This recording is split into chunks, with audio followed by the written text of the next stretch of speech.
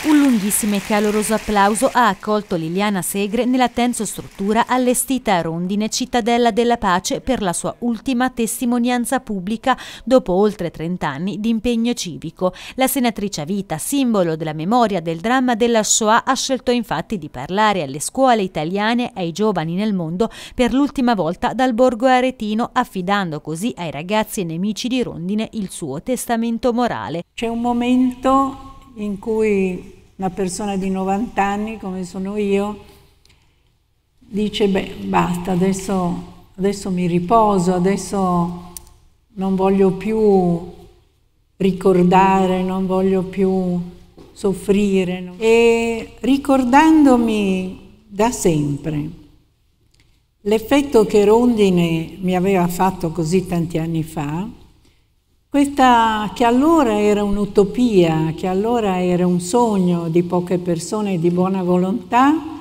che vedevo come qualcosa di impossibile e che invece qui nella piccola realtà di allora, piccolissima, modesta realtà di Rondine, si cercava di fare. Era un inizio, un inizio straordinario. Per l'ultima volta Liliana Segre ha ripercorso la storia della sua vita partendo da quella bambina che nel settembre 1938 diventò l'altra. Una delle cose più crudeli fu quella di far sentire i bambini invisibili. Perché in realtà io lasciai quel banco obbligata, io lasciai quelle compagne, allora erano scuole femminili o maschili, maschili le mie compagne, ma furono pochissime, furono solo tre che si ricordarono per tutta la vita quella compagna di banco. Le altre non si accorsero che il banco era vuoto e molti anni dopo, dopo la guerra, rincontrandole ormai signorinette come ero diventata anch'io, mi dissero ma tu Segre, ma dove sei andata a finire che non ti abbiamo più visto? Avrei dovuto rispondere a Auschwitz, avrei dovuto rispondere... Non ho risposto. Poi la deportazione, le umiliazioni, la disumanità e gli orrori dei campi di concentramento. Entrammo nella prima baracca, noi così con i nostri vestiti come eravamo scesi da quel treno, e lì cominciamo a capire che dovevamo dimenticare il nostro nome. Voi d'ora in poi sarete un numero e vi viene tatuato un numero sul braccio così ben fatto che dopo tanti anni anche il mio si legge perfettamente, 75-190. E poi spogliate, rasate, vestite, ci tolsero tutto la memoria poi è andata all'amica Janine che la Segre non salutò prima che venisse condotta nelle camere a gas di Auschwitz. Un giorno la macchina le tagliò due falangi di due dita di una mano e quando fummo chiamate alla selezione quel giorno, lei terrorizzata trovò uno straccio, ma quando si è nudi lo straccio si nota e coprì quelle due dita che erano state in qualche modo ricucite in un ambulatorio drammatico. Beh, io ero passata, lei era dietro di me.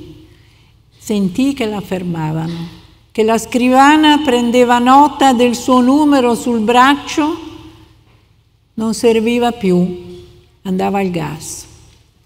E io? E io che ero appena passata e che tutti i giorni lavoravo con lei, sono stata orribile, così ero diventata. Io non mi sono voltata. Il suo andare al gas e non diventare vecchia, e non diventare madre, non diventare nonna, e non diventare quella donna che sarebbe stata, è legato al mio non essere, il mio aver perso ogni dignità, ogni senso di quella persona che io poi speravo di diventare, ma non sapevo allora come sarei diventata, ero solo in quel momento quella prigioniera che si era salvata in quel momento e non le importava di nient'altro. una testimonianza della più grande tragedia dell'umanità che però non ha ceduto al male, come racconta la stessa Segre. Successe una cosa incredibile e straordinaria, mi camminava vicino il comandante di quell'ultimo campo. Era un uomo alto, elegante, si mise in mutande. Vuole buttare via la divisa, butta via la pistola. Io mi ero nutrita di odio e di vendetta. Lasciando la mano sacra di mio padre, man mano, giorno dopo giorno, ero diventata un'altra quella che loro volevano che io diventassi, un essere insensibile che sognava odio e sognava la vendetta. Pensai adesso raccolgo questa pistola che avevo tanto visto usare e gli sparo, perché mi sembrava proprio un giusto finale di quel, di quel, periodo incredibile in cui io ero stata una testimone ed ero viva ancora quel giorno. Fu un attimo, fu un attimo importantissimo, decisivo nella mia vita perché io capii che mai, per nessun motivo al mondo, io avrei potuto uccidere qualcuno, che io non ero come il mio assassino. Non ho raccolto quella pistola, e da quel momento finisco sempre così, sono diventata quella donna libera e quella donna di pace con cui ho convissuto fino adesso.